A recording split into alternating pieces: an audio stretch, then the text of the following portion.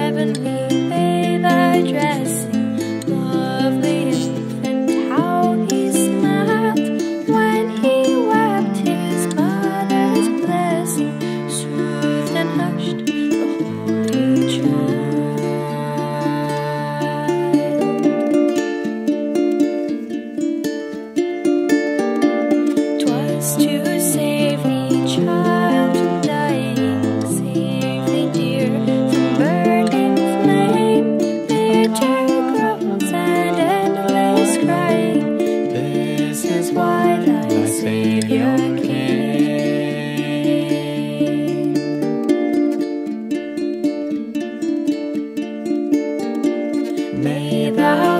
live to know and fear Him, trust and love Him all thy days, then go dwell forever near Him, see His face and sing His praise.